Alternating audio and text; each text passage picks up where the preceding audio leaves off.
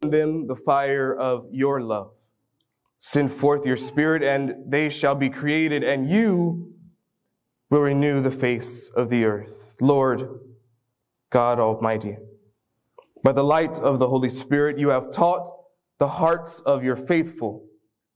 In the same Spirit, help us to release, release what is right and, and relish in what is right and right, and always rejoice in your consolation. We ask these things through Christ our Lord, and all God's children say, Amen. Amen. My sisters and brothers in Christ, I, I want you to listen to the story of a, a dear priest friend of mine. He says, It was one of the most confusing and disconcerting time moments in my life. I had moved from one community house to another and proceeded to rearrange the furniture. I put my books and put my clothes into the closet. I had to leave after a day or two for a week long trip. And so when I returned late Friday night and I entered my room, I couldn't recognize it. I made sure the key opened the right door. It was my room, all right, he said, but everything has been rearranged differently than when I had left. I opened the, the desk drawer and yes, my stuff was in the drawer, he says. I opened the closet. Yes, they were my clothes, but nothing was where I had left it. I spent the weekend wondering how much of my mind I was losing until I talked to the housekeeper on Monday. And she was so happy for me to move in, she decided to do me a favor and fix my room up for me. My room would be better her way. I don't know if we have any priests in here, but we have some religious who sometimes our sisters or our brothers tend to touch our things and we put it in, in, a, in a, particular spot, right, Brother Kersey? And then somebody messes it up and you're like, I know I'm not the crazy one. Turn to your neighbor, put a smile on your face, and you know we don't do any fake smiles here, so make it count, and say, Don't rock the boat.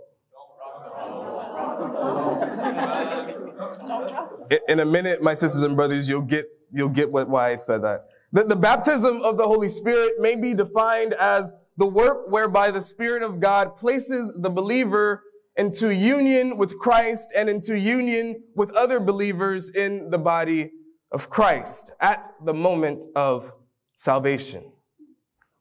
The baptism of the Holy Spirit was predicted by John the Baptist in Mark chapter 1 verse 8 and by Jesus before he ascended to heaven. And I quote, for John baptized with water, but in a few days you will be baptized with the Holy Spirit. Acts chapter 1 verse 5.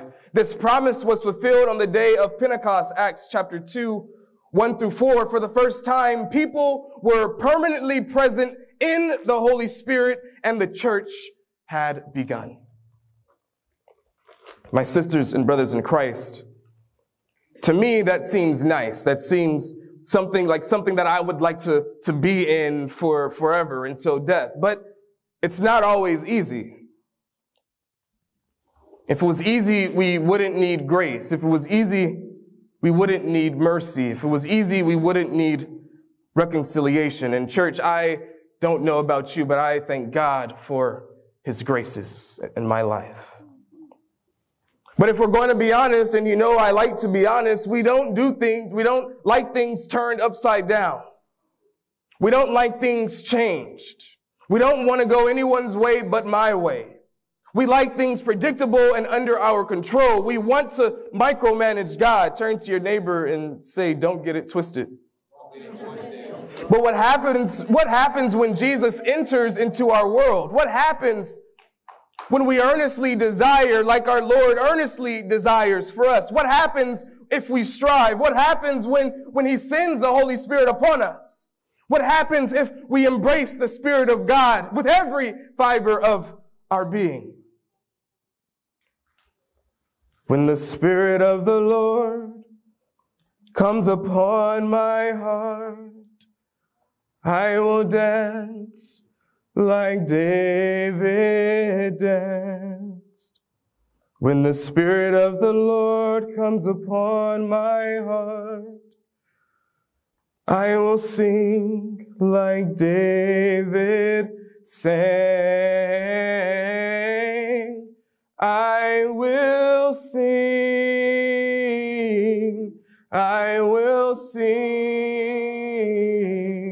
I will sing like David sang. I will sing. I will sing. I will sing like David sang. We can feel that in Acts chapter 2, the first reading for this Sunday, just in case if we get a little too lazy to go to Mass. I'm not calling anybody out, but if you can't say amen, somebody say ouch. ouch. I say feel because so much is happening in the scene between the wind and tongues of fire, this new way of communicating, and this recognition that we are all brothers and sisters in the same grace. Turn to your neighbor and say, You are my brother or my sister, depending on who you look at.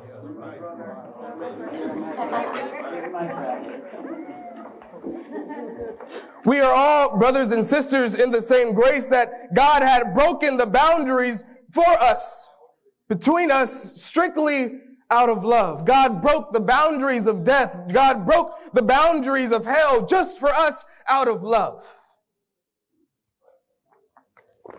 Amen, church. Amen. Just want to make sure that I don't get kicked out for saying anything outside the walls of the church. I still fear the sisters. I'm just kidding, sisters.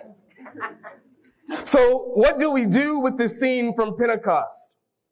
Our world is still more, much more comfortable when we can be on our own have the rules of our own group to follow and, and speak our own language. We don't want to care about anybody else. We don't care about the beggar on the street. We don't care about the young lady who was raped. We don't care about the young lady who, who is pregnant and is trying to figure out all the mess that's going on in her life. We don't care about the young man who's been abused. We don't care about the priest who's just going through a whole lot of drama. We just want our mass, our way, our Christianity, our way, our Catholicism, our way. It doesn't matter what God wants. We don't want any change. But the Spirit, the Holy Spirit, that is to say, the Spirit of Jesus, comes precisely to, to break us out of the modes we have formed for ourselves or the modes that have formed around us and bring us whether it's kicking and screaming or both, into the world that God has destined, destined at the beginning of time just for us. We have two options. We can either live right and live with God, or we can be that stubborn and spend eternity without God, and we know what that place is. Amen? So I don't know about you, my sisters and brothers, but I'm going to strive. I'm going to strive to reach that goal. I'm going to strive to reach my full potential in Christ Jesus. For it is by our baptism as Catholics, we believe that we are all baptized as priest, prophet, and king. And so every day, as long as I have breath, I am going to spread this message of God.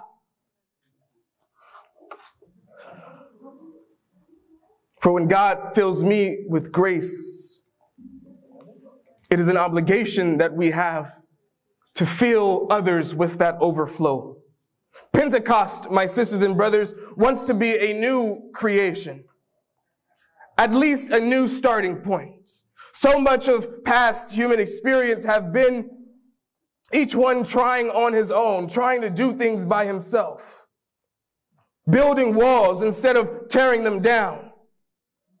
Too many times we, we don't build enough bridges for the people who are sinking. We need to, as Father Greg Boyle says, draw circles of inclusion instead of lines of exclusion. For if we truly believe that Genesis is the breaking apart of fundamental relationships, Pentecost is their restoration. And if Babel shows how humans cannot communicate with each other, Pentecost gives us the new common language of love. Jesus says, peace be with you. Peace be with you. Then, as God breathed into Adam, Jesus breathed his breath into his disciples. Receive the Holy Spirit. As I am reconciled with you, you are to bring reconciliation to the world. As I am reconciled with you, you are to bring reconciliation to the world. As I am reconciled with you, you are to bring reconciliation to the world. As God's Spirit lives within me, so I pass that same Spirit to you. As creation had its first dawn, so I bring you a dawn of new life, full life, unending life, life with God to reach true satisfaction. And so, my sisters and brothers, again, I don't know about you, but I need the Holy Spirit. But, but, but, but no, church, when Jesus comes into your life, He makes you new. That means, which, which means stop, you have to stop saying all those old lies. You, you have to start speaking truth. You have to start giving praise to God, not only on your good days, but also in your bad days. Church, the Spirit wants to talk through you, so that means sometimes you just have to be quiet. And, but if you don't say anything, when the Spirit is ready, He can't speak through you. But when He talks, when the Spirit talks through you, you know it because it comes from deep down inside. Unfortunately, church, we've all gotten a little lazy. We become folk that don't want to put in the work and just wait to hear the voice of God. We've just become a people that don't want to wait until God completes his work. When you've got the Spirit of God way down deep inside of your belly, it will flow like a river of living water. Sometimes, church, all we have to do is wait. When Jesus says, peace be with you, he's not saying that so that you can get antsy. He's saying, my peace, my calmness, my serenity is with you. Be not afraid. For now my spirit is dwelling with you everywhere you go. Think of all the pains in your life. And remember, he was wounded for our transgressions, and that he was bruised for our iniquities, and it is with his stripes, scripture says, we are healed. And so, my sisters and brothers, I ask you to reach out to somebody, grab somebody by the hand, touch them on the shoulder. That means we reach out and grab somebody and, and, and, and touch somebody. And tell them that the Spirit of God is in here in this room. And when the Spirit desires a dwelling place in you, He's not going to stop bugging you. Because the Spirit wants to be, because we need to be filled. We need to be covered. We need to be anointed. We need to be rejoiceful because we have been appointed by our Lord Jesus Christ to preach his message of love, to preach his message of forgiveness, to, get, to preach his message of peace and joy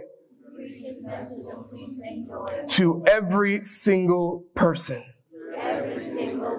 we come across in our daily lives.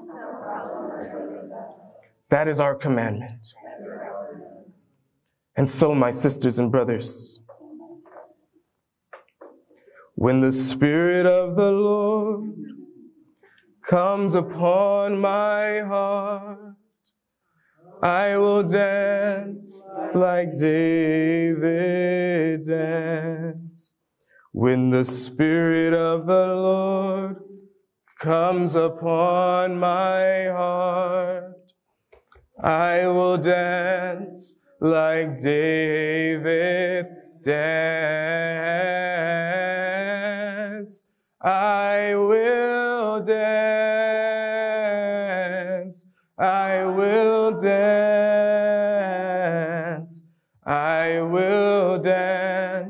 Like David dance.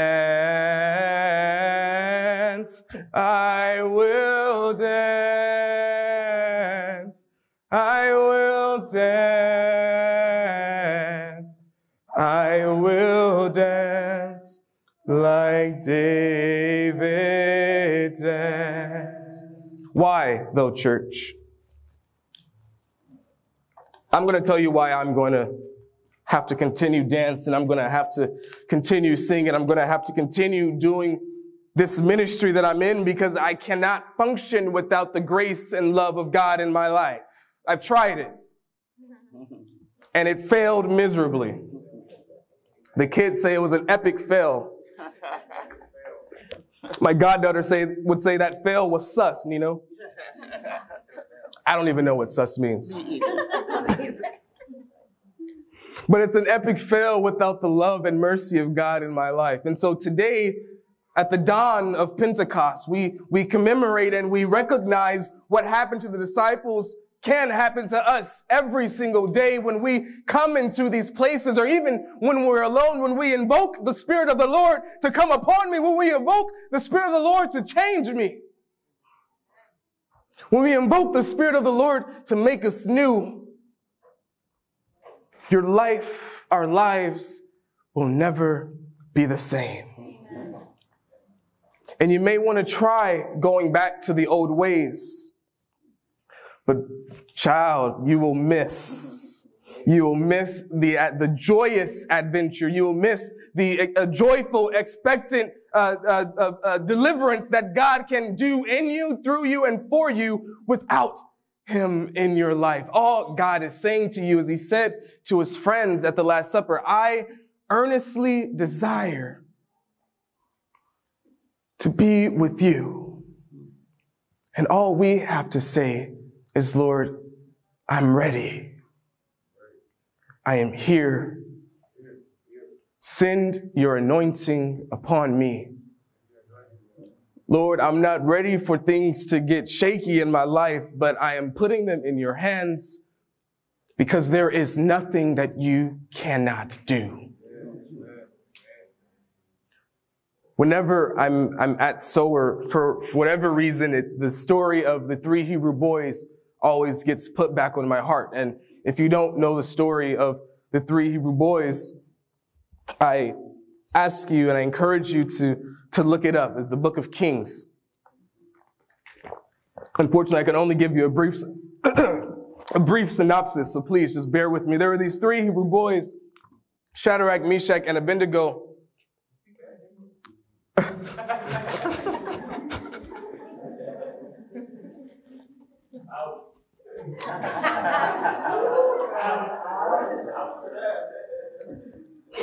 he was.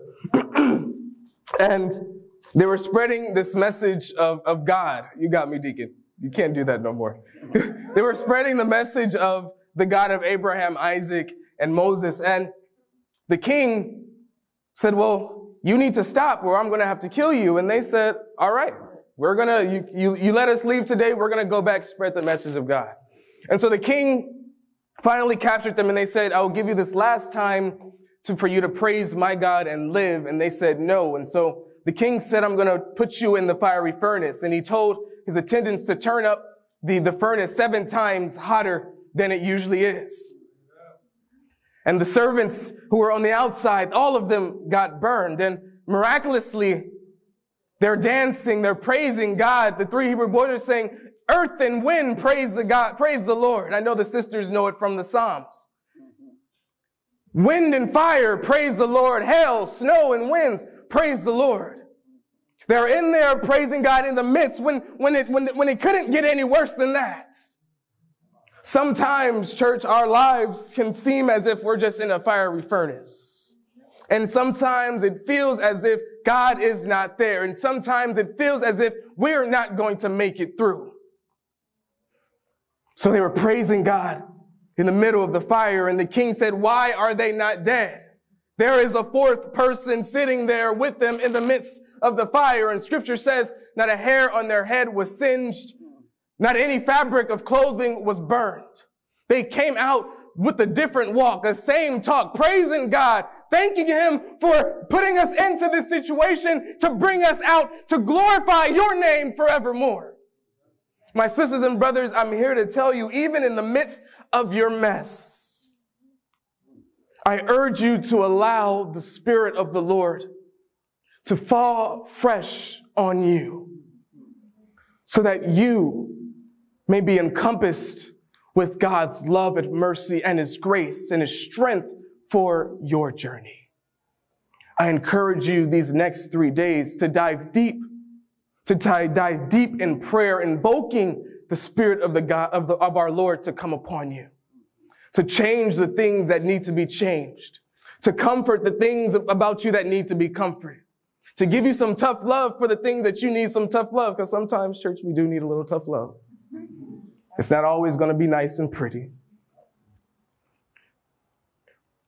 If we can put in the work so that God can work in us for our sisters and brothers, our lives will be changed. And we will one day speak that same message of love, the love that Jesus pours us with daily, that overflow of love, so we can then pour that same love into our brothers and sisters in Christ. Amen. Amen. And so no matter what, if anybody asks me who I am, for those reasons, I'm going to tell them that I'm a child of God. In the name of the Father, and of the Son, and of the Holy Spirit. Amen. Amen.